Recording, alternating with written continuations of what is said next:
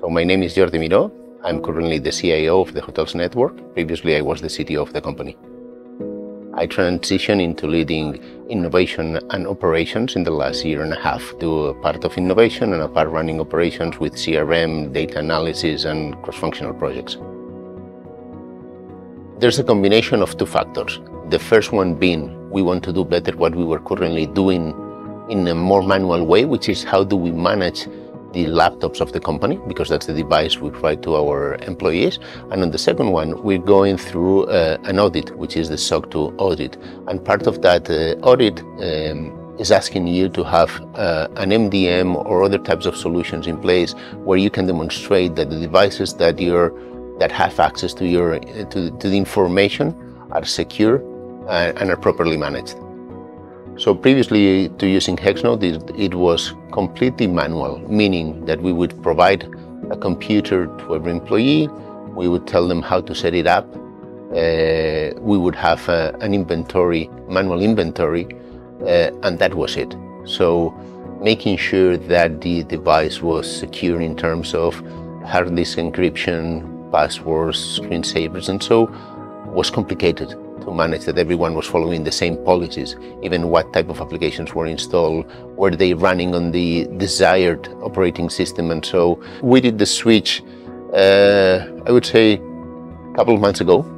It's a huge difference because now everything is automated, everything is under one platform. In fact, we have two different accounts uh, because we have split the Windows part from the Mac part and we're waiting for the Linux uh, option that will come throughout the year. And the main difference is zero manual. So they install an agent and we see everything that's going on and we can force the different policies that we want on top of every single computer. So the main cost that we had was human labor, meaning we had someone on the team running the process, making sure that you got your device, that he took note of which device, serial number, and so, and trying to coordinate with you to make sure that uh, you complied with the different policies.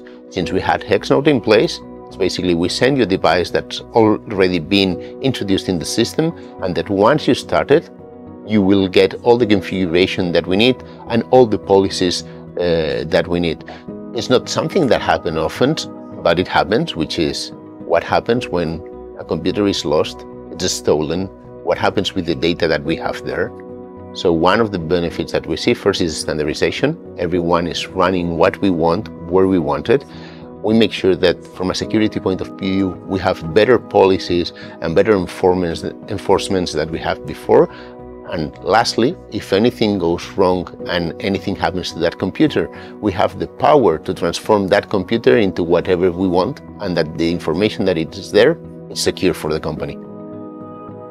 So one of the things that we were surprised was the quality of support.